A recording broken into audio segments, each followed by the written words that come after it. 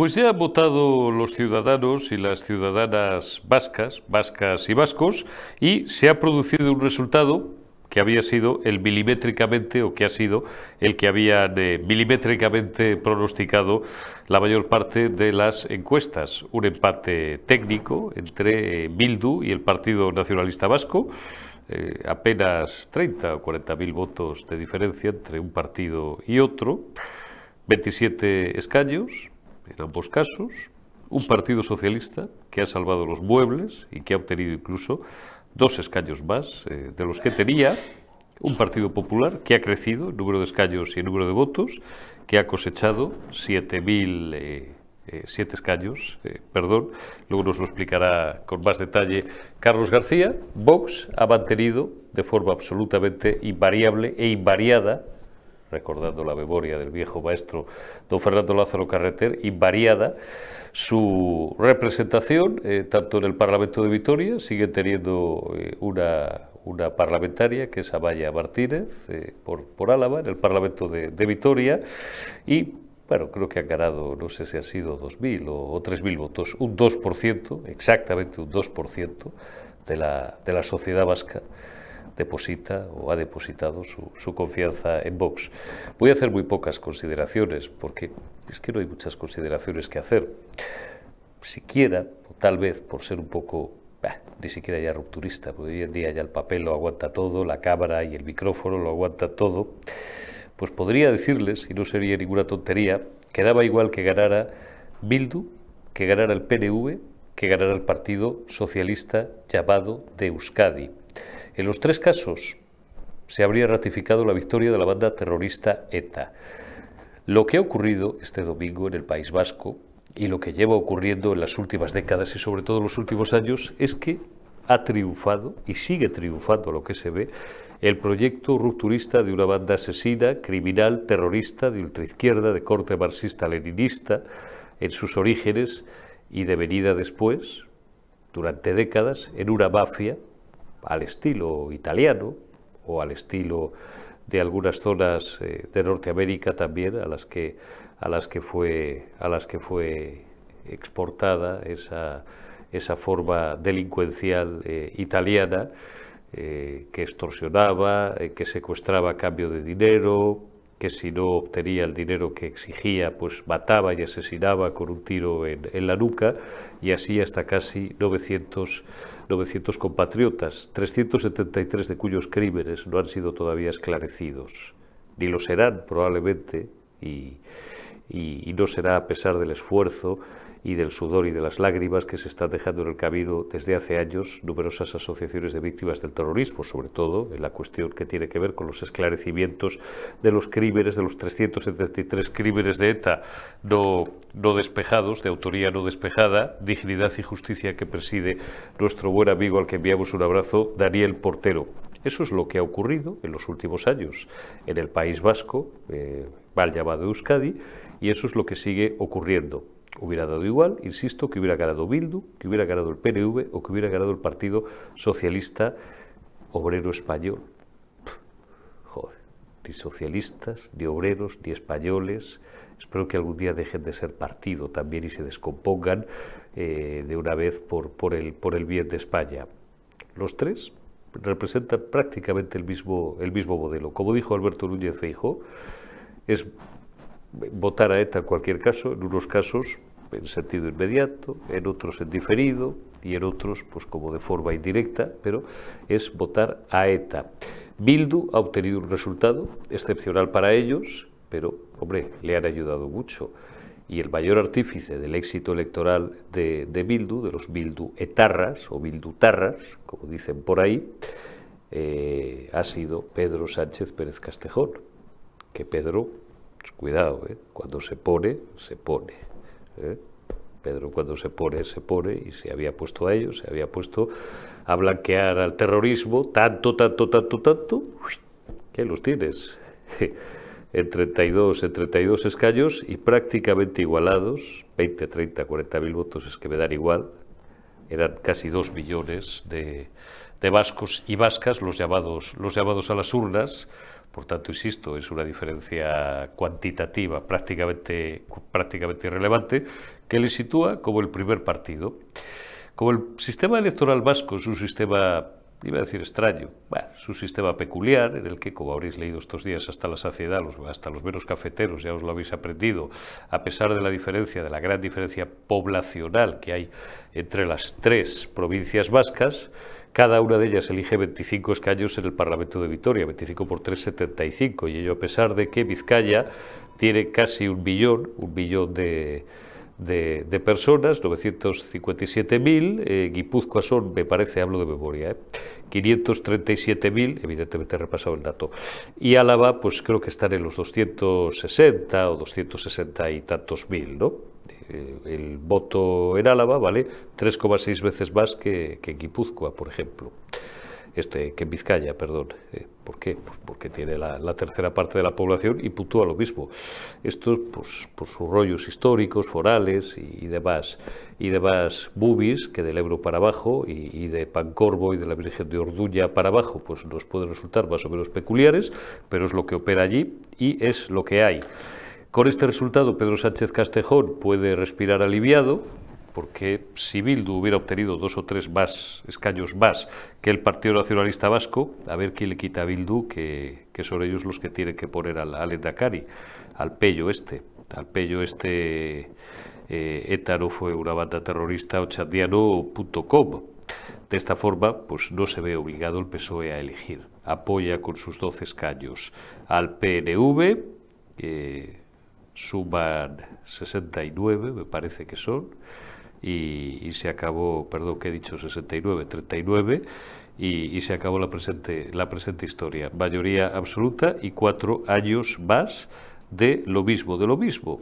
Quiero pensar que no, quiero pensar que la, la fuerza que ha cobrado el Partido Popular, que tiene, insisto, un escaño más, y, el hecho de que Vox siga representando la Cámara Autonómica, por lo menos seguirá dando testimonio de que la voz de España no se termina de opacar o de apagar en el País Vasco. Aunque, y con esto termino, es bastante triste y bastante desolador, ocurre igual en Cataluña, y ahora voy a saludar a Sergio Fidalgo, es perfectamente posible, digo, atravesar todo el territorio de la comunidad autónoma vasca de las tres provincias, desde Pancorvo hasta arriba, hasta Fuenterrabía o hasta San Juan de Luz o hasta donde quieran ustedes, cojan, tiren ustedes la diagonal por donde les dé la gana o hasta la frontera por Casturdiales bajando por la otra esquina, sin ver ni una sola bandera de España, ni un solo símbolo que recuerde a España o al llamado Estado español, como ustedes lo prefieran. Gracias Partido Socialista porque tanto te has empeñado en destruir toda presencia del Estado español en, el País Vasco que lo has conseguido. Don Sergio Fidalgo, buenos días y feliz semana. ¿Cómo estamos? Muy buenos días y feliz semana, pero no ha sido un, no ha sido, no ha sido, anoche no fue un buen día para la gente que creemos en, en España como una nación de ciudadanos libres iguales, una nación democrática. Cuénteme usted. Cuénteme usted que ya he hablado yo bastante en los primeros minutos del editorial. Empiece por donde quiera. Tiene usted campo libre. Bueno, es que todo se resume en una, frase. Coalición Frankenstein o coalición, coalición sanchista, como usted lo quiera decir, 68, alternativa 7. 8, perdón, 67 a 8. O sea, 67 diputados que forman parte del, del actual bloque de poder, frente a 8, 7 de PP y 1 de Vox, que es la alternativa. Claro, 67-8 es muy complicado. Y, el problema va a ser que en Cataluña, cuando se vote de aquí unos días, con suerte, suponiendo que, bueno, que, Vox saque pues, mejores resultados y saque 12, por ejemplo, y el Partido Popular, que va a multiplicar los diputados, pues saque 15, vamos a suponer que son, serían dos buenos resultados, sería 100 a 7 a 28. Con estas proporciones es muy complicado que haya una alternativa al sanchismo mientras el bloque de poder que está alrededor de Sánchez, con PNVs, Bildos, Compromís, Esquerras, Junts, etcétera, sigue, sigue inflexible. Y claro, el problema que tiene el Partido Popular es que pretende romperlo haciéndose el simpático con Junts y con, y, con el PNV, que consigue que el voto útil, en el caso del País Vasco, sea para el PNV y no para el Partido Popular, con lo cual, al final, el PP, que se las preveía felices y que podía pensar que podía ser decisivo, ha subido, sí que ha subido, pero tener siete diputados en una Cámara de, de 75 con todo lo que ha sido el, Partido Popular en el País Vasco, porque igual que Cataluña siempre ha tenido un papel, algunas, en algunos momentos claves, como eh, cuando, cuando Alejo Vidal Cuadras, pero siempre ha sido un partido, digamos, pequeño, el País Vasco, recordemos que con Mayor Oreja era un partido que pisaba muy fuerte, y estar con siete y, y, salir sonriendo como que es un buen resultado, insisto, a mí, yo estoy de acuerdo contigo, a mí que ganara Bildu y ganara PNV en el fondo, es que va a ser lo mismo. Era, digamos, era independentismo o, sin violencia a largo medio a largo medio plazo, pero el problema es que tanto unos como otros, en el fondo siempre unos la violencia la practicaban activamente y otros recogían los frutos, con lo cual tampoco significaba una gran diferencia. Y los socialistas, que obviamente ahora mismo están veo Cicoz metidos en, el, blanqueamiento y en la creación de un nuevo Frente Popular, pues claro, yo que, tampoco, tampoco marcaban la, la, diferencia. Quien lo podía marcar se ha quedado en los resultados Dejémoslos en dignos si quieres, pero es que eso está muy lejos, pero muy lejos de lo que haría falta para construir una España mejor. Por tanto, mi preocupación en Cataluña y en el País Vasco hay dos agujeros inmensos y no por no ser suficientemente amigos de los, de los nacionalistas, como algunos en el Partido Popular pueden pensar, sino precisamente por no tener una, una alternativa, o sea, un discurso alternativo. Por ejemplo, el discurso de Alejandro Fernández que, que es heredero del discurso de, Alejo Fernández, de, Alejo Vidal Cuadras, ese discurso mantenido durante el tiempo, no de manera puntual y luego a los dos años no lo cargamos, sino durante 10 o 15 años en País Vasco, Cataluña, como en su momento hizo Mayor Oreja, pues puede ser realmente efectivo. Pero si vas dejándolo caer, si al final todo queda en, bueno, todos somos nacionalistas y todos hemos de llevarnos bien, pues la gente vota, pues eso, a voto útil, al, más grande. Claro. Y así, el Partido Popular no, no va a poder hacer nada. Vox sí que ha tenido un discurso más, más contundente, pero Vox en el País Vasco, por lo que sea, no ha podido no, no, ha podido conseguir esa masa crítica que sí ha conseguido en Cataluña. No, hombre, por, por, lo que sea, no. Vamos a ver, Sergi, aquí, aquí estamos a todos y a todas. Es decir, si yo te compro el discurso, porque yo y tú más que yo, conocí bien el Partido Popular eh, de Cataluña cuando, cuando lo dirigía Alejo Vidal Cuadras, que era un tío sin complejo, que plantaba cara a los, al, nacionalismo y al independentismo, etcétera, etcétera y tal. Bien, luego al Partido Popular allí, pues le fueron cepillando las uñas y, fíjate, fíjate todo lo que todo lo que ha habido allí, ¿no? Todo lo que ha habido allí. Eh, ¿cómo se llamaba esta, esta señora Alicia? Alicia Sánchez Cabacho y no sé qué y no sé cuántos y tal. Vale. Dices, hay que hacer un discurso fuerte contra el nacionalismo. Hay que hacer un discurso de reivindicación eh, de España en la comunidad vasca y en la comunidad catalana hay que recuperar el orgullo del sentir y del ser español, hay que eh, insistir en que ser, como dice aquí a veces Carlos García, ser vasco eh, y, bilbaíno, añado yo, que les tengo mucho cariño, como se sabe, es ser doblemente español y tal.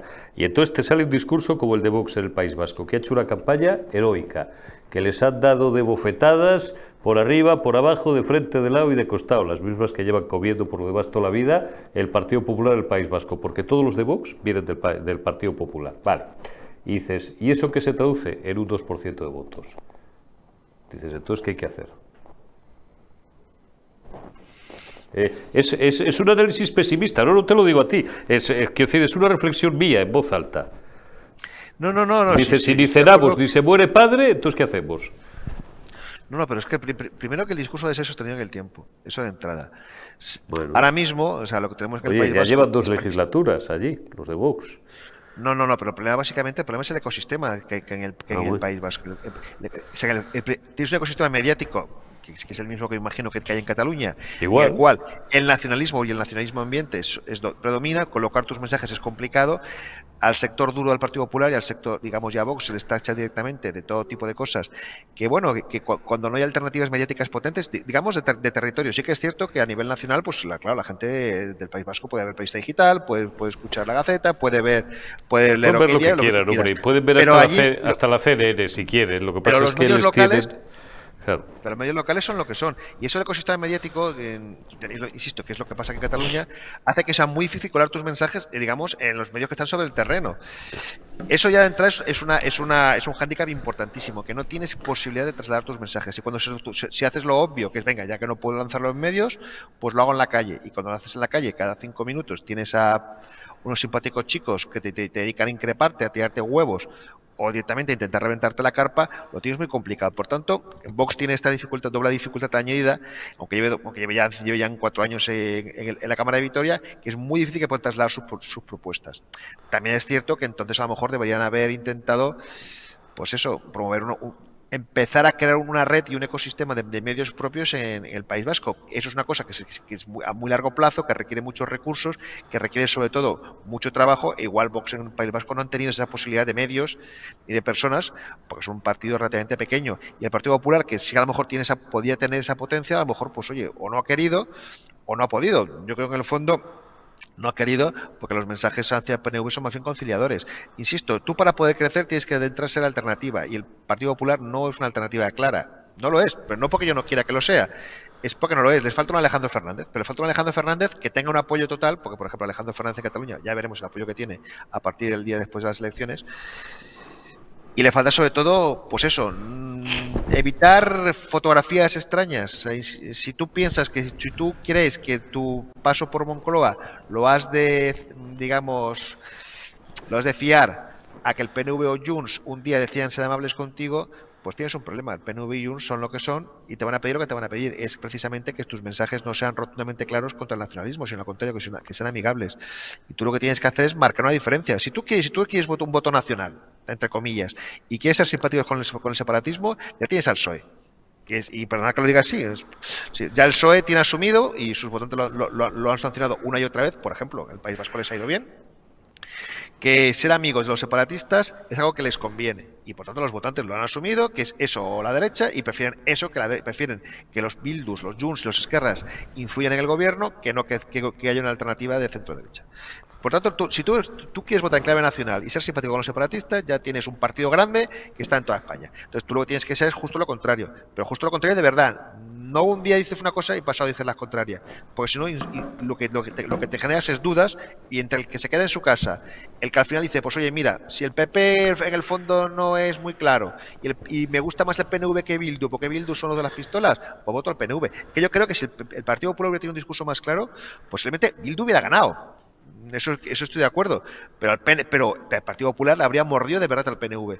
Pero es que para, morder, de verdad al PNV, como para morder de verdad, de verdad a Junts, tienes que trabajar durante muchos años con un discurso sin complejos. Insisto, Vidal Cuadra lo intentó no, y, al fin, y, cuando empezó a conseguir los frutos, le llegó el corte de la cabeza del, del pacto del Majestic y se acabó el Partido Popular. No se acabó. Está bien, están ahí, son heroicos, luchan, luchan mucho, son gente que se parten la cara, les insultan, se refiero que no estoy, no, estoy descalificando, al contrario, el Partido Popular tiene mucho mérito en Cataluña, en el País Vasco, hacen un trabajo indispensable y hay que fiarse de ellos.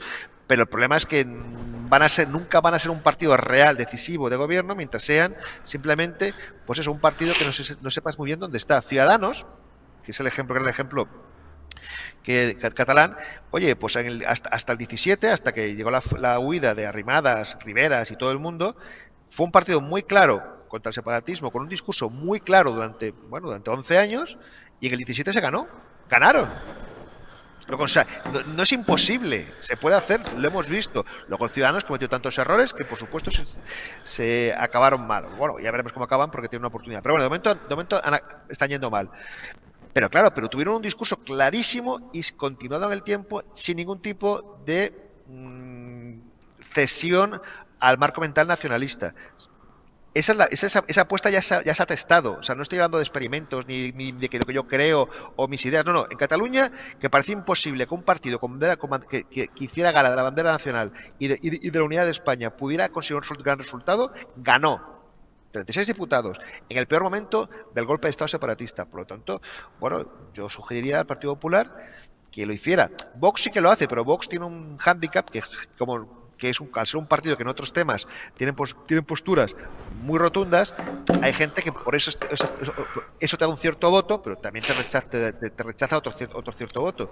Con lo cual, Vox va a tener una base muy sólida, y de hecho aquellos que piensan que el Partido Popular se va a comer a Vox, yo creo que, que pierdan toda esperanza, porque realmente Vox va a, va a sacar a nivel nacional sus 20, 25, 30 diputados, yo creo que por muchos años, pero también es cierto que va a ser muy difícil que pueda crecer pero, pero, es, eso ya lo hace Vox. Vox hace una cosa, tú haz la otra. Tú te mantén tu postura, si quieres, más templada en, otros temas, como los temas económicos, como los temas de, de, Unión Europea, como temas de autonomías, etcétera, etcétera, etcétera. Pero a nivel nacional y confrontación con el nacionalismo, tienes que ser contundente.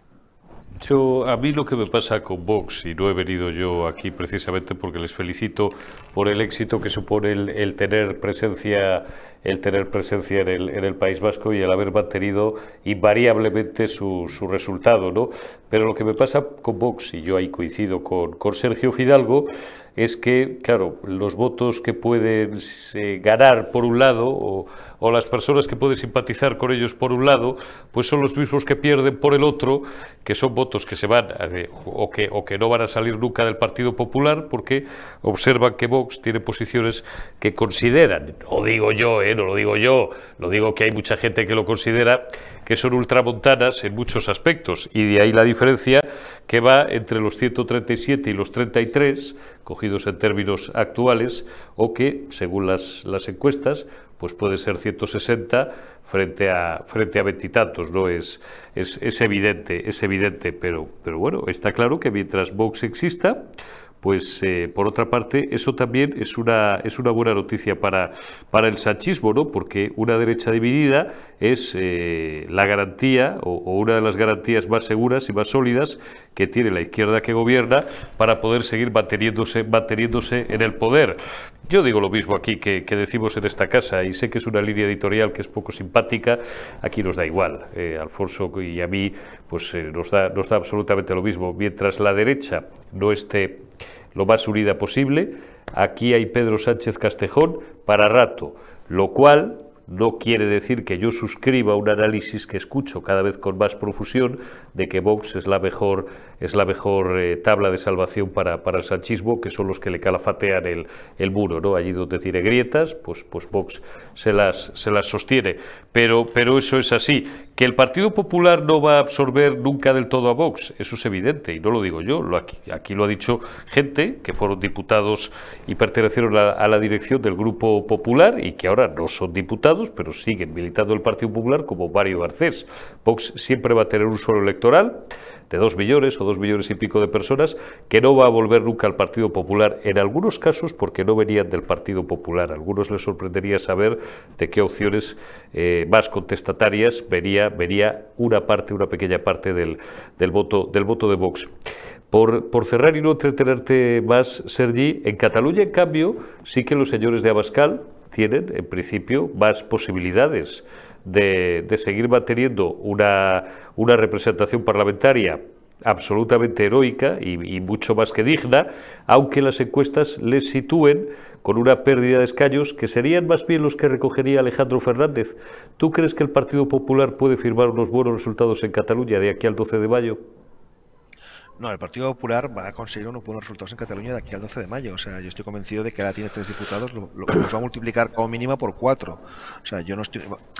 Otra cosa es si tener 12 diputados en el Parlamento de Cataluña es suficiente para intentar acabar con esta coalición con Frankenstein. Desde el punto de vista numérico, claro, si tú, si tú tienes 3 y sacas 11, 12, 13 o 14, va a ser increíble. Y el tema es que se va a producir una paradoja pues, que es interesante, que el Partido Popular va a subir, va a subir bastante, pero no va a ser a costa de Vox, porque Vox, de hecho, mira, creo que fue creo que era el español que sacó un sondeo ayer, pero todos los sondeos de los últimos tiempos, que Vox que tiene 11 no se hunde, a pesar de que el Partido Popular suba de 3 a 12 o 13 o 14, Vox mantiene, puede ganar, perder 2, ganar 1. O sea, que está en una horquilla de 8, 9, 11, 12. Y eso es importante de que, bueno, de que, de que los de que el bloque no separatista consiga realmente fuerza. Pero claro, siendo unos resultados dignos, pues, insisto, ya no es lo mismo sacar, por ejemplo, en el caso del en el caso de Vox, 11 o 12 que uno, en el caso del Partido Popular, aunque el, el Parlamento es más grande, ¿eh? pues tiene 135 diputados, pero bueno, en el caso, en vez de sacar 7, sacar 13 o 14, por supuesto que eso, te, eso da, digamos, son mejores resultados, más esperanzadores. También es cierto que en Cataluña hay más resistencia al separatismo ahora mismo que, que, que en Euskadi. Pero yo creo que sigue siendo insuficiente lo que tiene que hacer, bueno, de aquí al 12 de mayo es trabajar para conseguir el mejor resultado posible. Yo estoy empeñado, incluso que Ciudadanos, que a ver si puede conseguir un par de diputados y, y se mantenga en la Cámara, yo quiero que todas las fuerzas que plantan cara al sanchismo tengan, tengan, tengan digamos, posibilidades.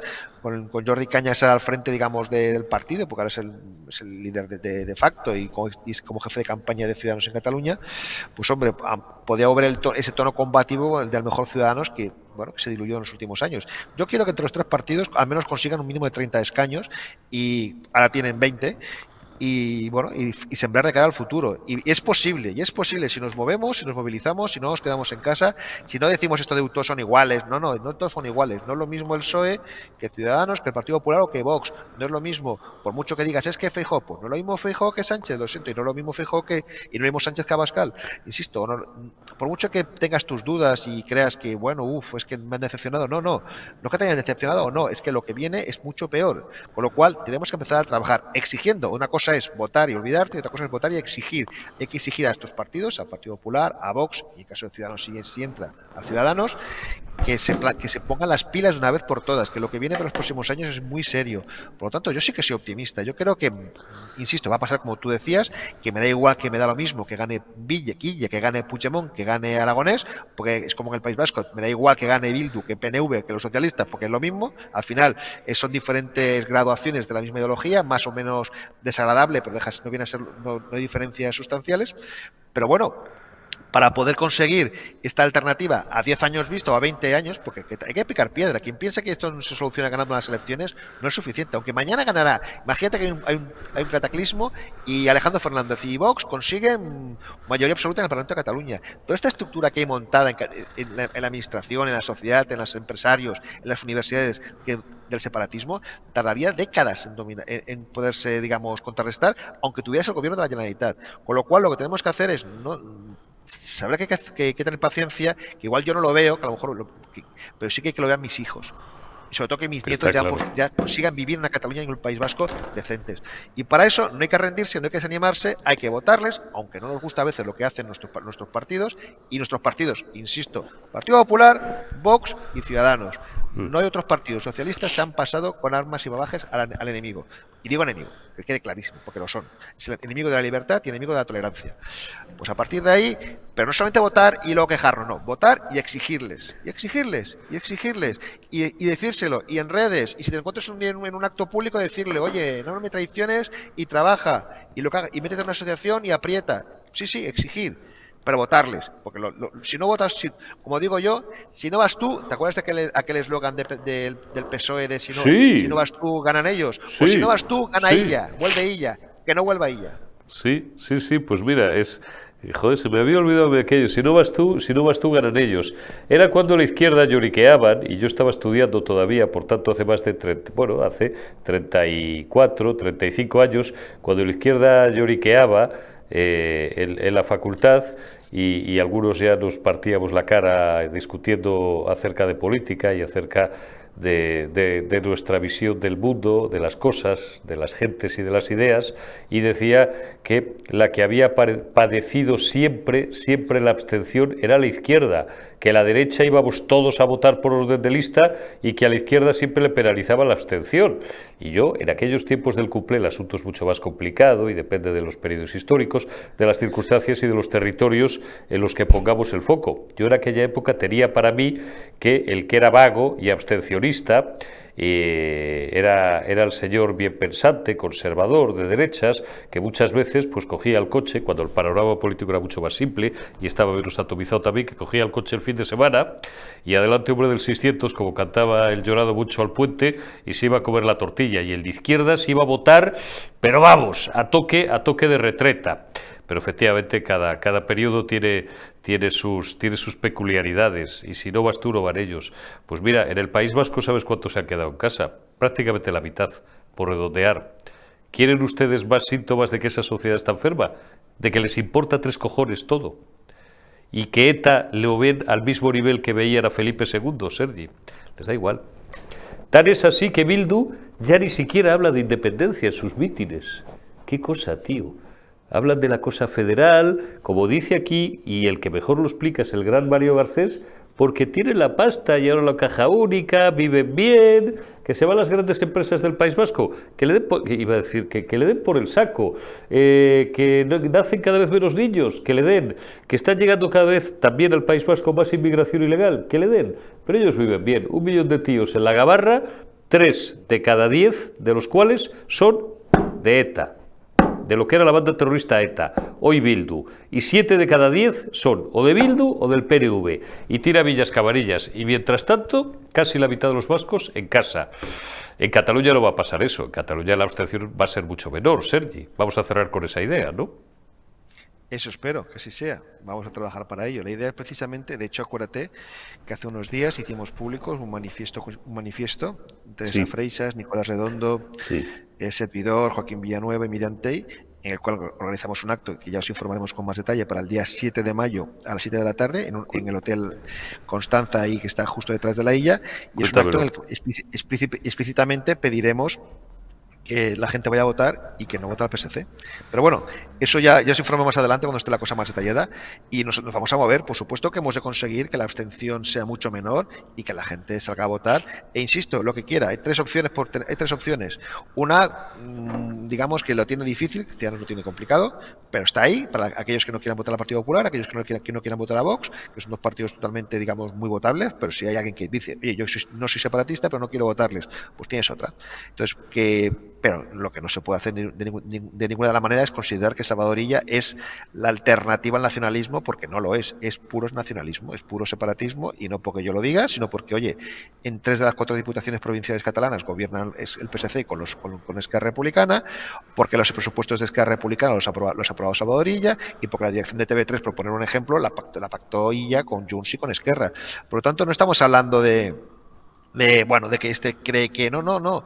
Oiga, quien ha despedido hace un mes a 40 trabajadores por no tener el nivel B, 1 de catalán no ha sido la CUP, ha sido Culboni, que es socialista. Entre ellos un clarinetista y su cocinero personal. Que hombre, yo creo que, te piden un, diploma de catalán para hacer huevos fritos o para tocar el clarinete es un poco exagerado. Pero lo ha hecho, lo ha hecho un socialista. ¿Por qué? Porque ha aplicado la normativa lingüística de la Generalitat. En vez de oponerse, la aplica esto es Culbón y esto es el PSC, esto es Salvadorilla. Por tanto, es lo mismo. Entonces, yo no se engañen. Si usted quiere votar al PSC, vótelo. Pero vote, conscientemente de que está votando un partido separatista. Punto. punto.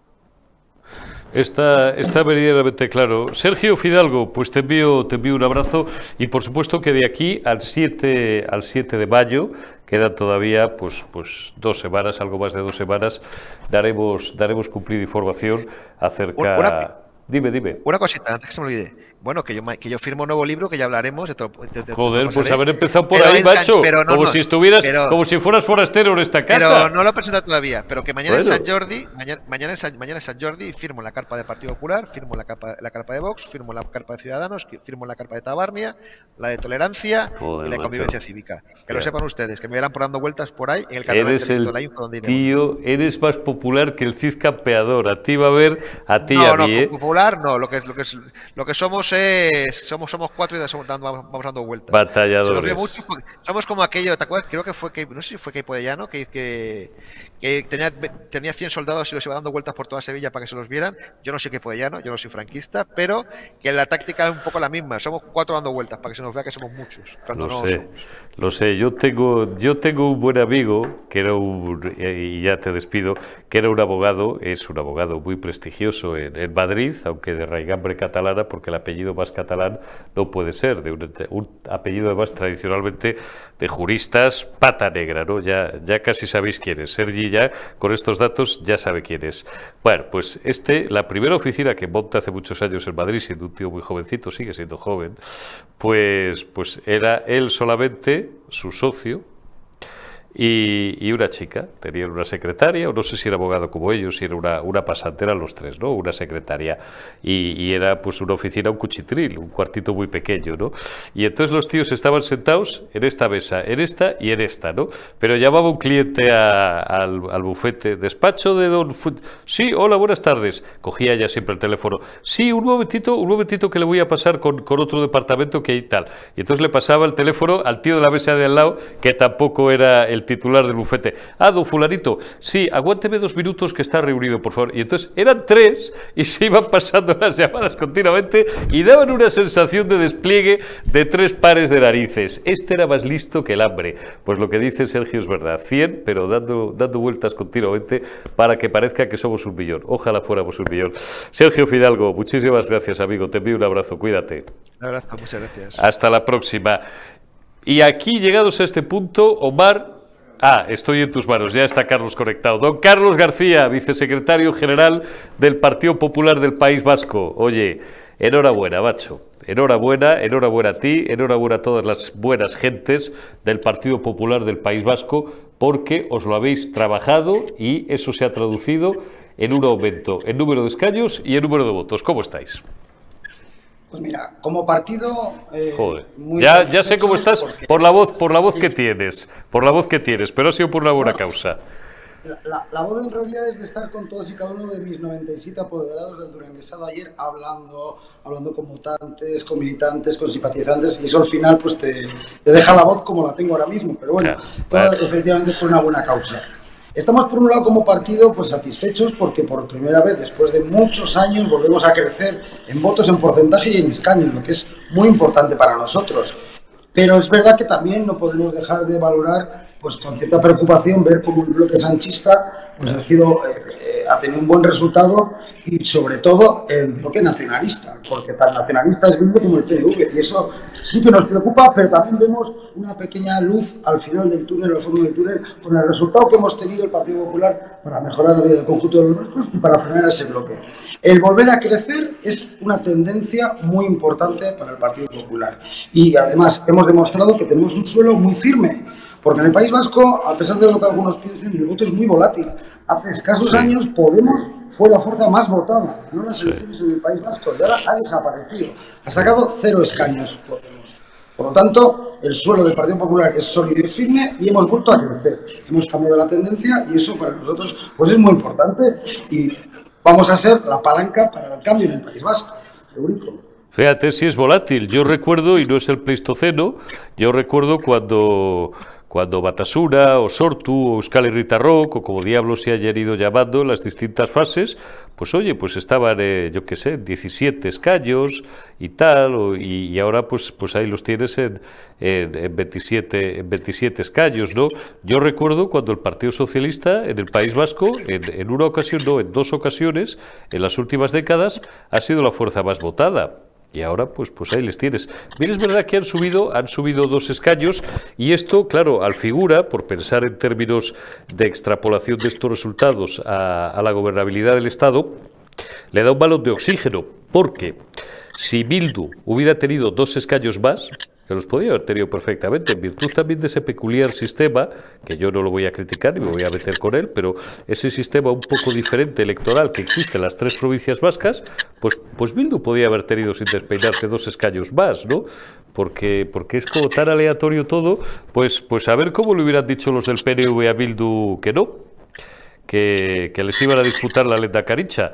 De esta forma, pues se ha salvado el PNV por los pelos, eh, porque Pradales era el Endacari gracias al apoyo del Eneco este, del Partido Socialista, del candidato socialista, les sobra un escaño, un escaño, pero bueno, pero llegan y llegan y punto y final, y Sánchez puede respirar tranquilo en Madrid.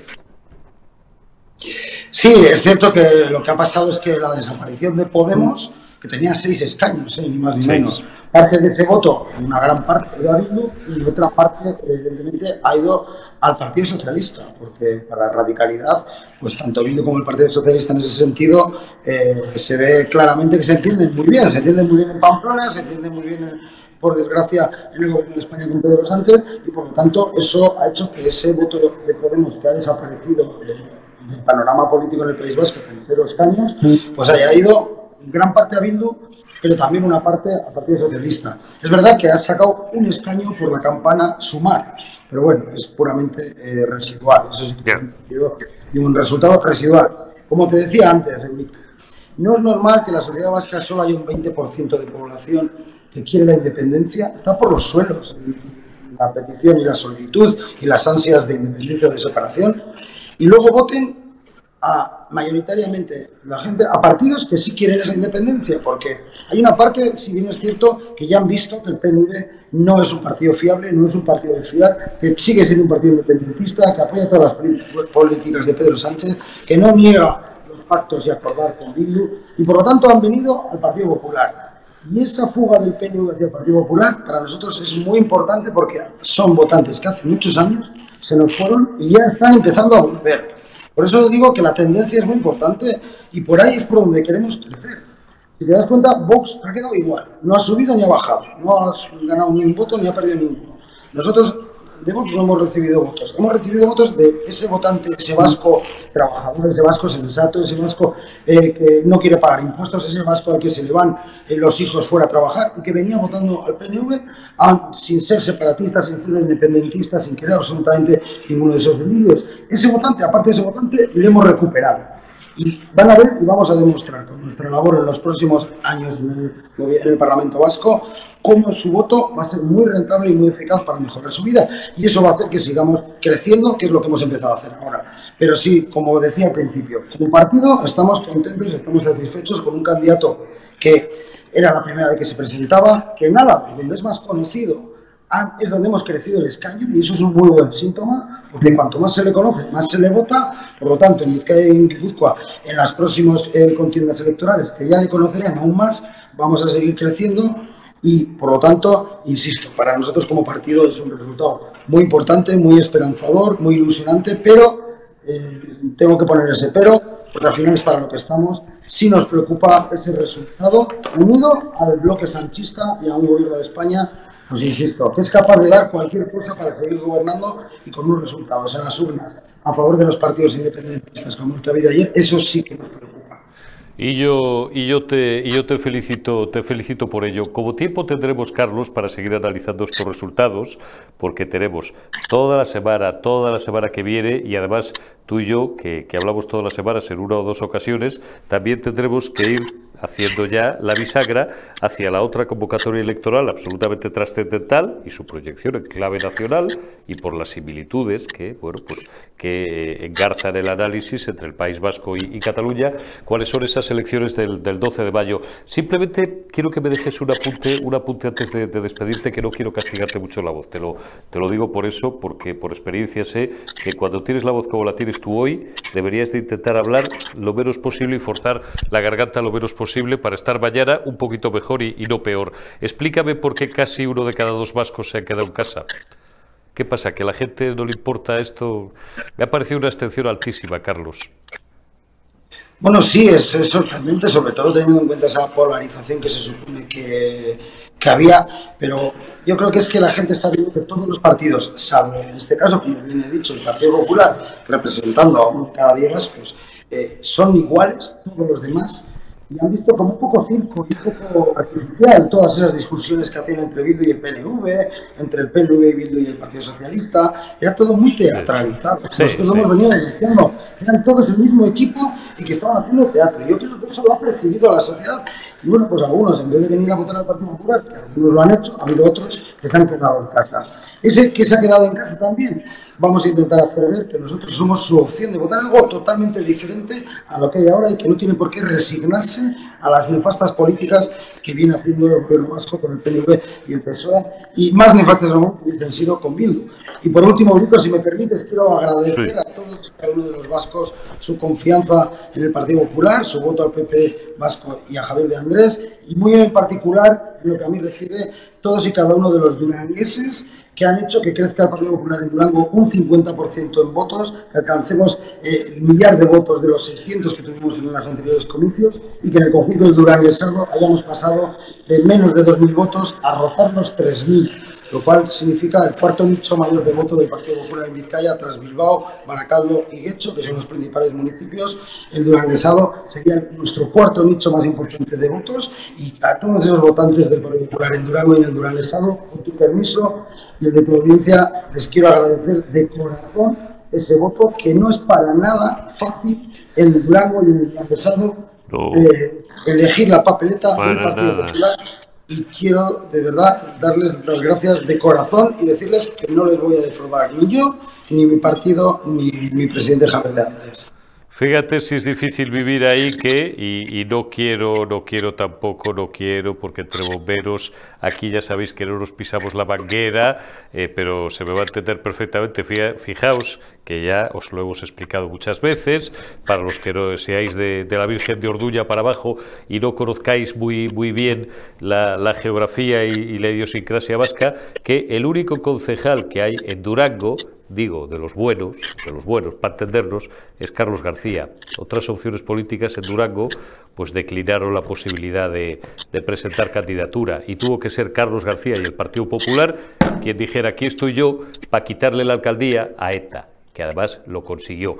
Esto, dicho sea, eh, con todo el cariño para todo el mundo. Lo he dicho y lo he dicho muy bien, ¿eh? que, no se, que no se me soliviante nadie. Segunda cuestión, fijaos si es maravilloso Durango, que toda la vida de Dios el Endacari vivía en Ajurianea, hasta que llegó un tío como Urcuyu que decidió que en Durango, joder, se vivía mejor que en Ajurianea. Yo no sé, ¿Pradales va a seguir viviendo en, en Durango? ¿Cómo va la cosa? Esto es una broma para terminar. No lo sé, no lo sé, pero bueno, Durango es el cuarto municipio con mayor renta per cápita del País Vasco y tiene una, una, calidad en el paisaje, en el ambiente, en la arquitectura, en las calles. La verdad es que es un municipio precioso. Y para concluir, Eurico, también con tu permiso quiero decir a todos los que han confiado en nosotros que estén orgullosos que el segundo partido, tras Bildu, que más ha crecido en Durango y en el Durango ha sido el Partido Popular muy por encima del Partido Socialista y a diferencia del PNV que ha bajado. Así que en ese sentido, pues eh, quiero que lleven con orgullo y que sepan que su voto ha sido, es y será muy útil en su papeleta y que, insisto, intentaré no defraudarles nunca. Y muchas gracias por una vez más, Eurico. Vamos, vamos a concluir con ese mensaje optimista. ¿No nos gustan los resultados? No nos gustan. Dicho lo cual, eh, nuestros amigos y, los patriotas y quienes defienden a España, la unidad de España, la Constitución, las libertades y el Estado de Derecho, ¿han hecho los deberes? Sí, han hecho los deberes. ¿Han tenido un éxito? Sí, han tenido un éxito. Y por tanto, hay que felicitarles por ello. felicitar y felicidades, Carlos García, vicesecretario general del Partido Popular del País Vasco y felicita también y dale un abrazo muy fuerte de nuestra parte a Javier de Andrés, que ha sido, vamos, un digno, no, un dignísimo candidato a la Lendacaricha y un dignísimo líder y espero que lo siga siendo por muchos años del Partido Popular en el País Vasco. Enhorabuena a todos porque os lo merecéis. Un abrazo, Carlos, cuídate. Un abrazo, Agur. Un abrazo grande, Agur, Carlos García. Hasta aquí y así, la retaguardia. Mañana más y mejor. Hasta mañana.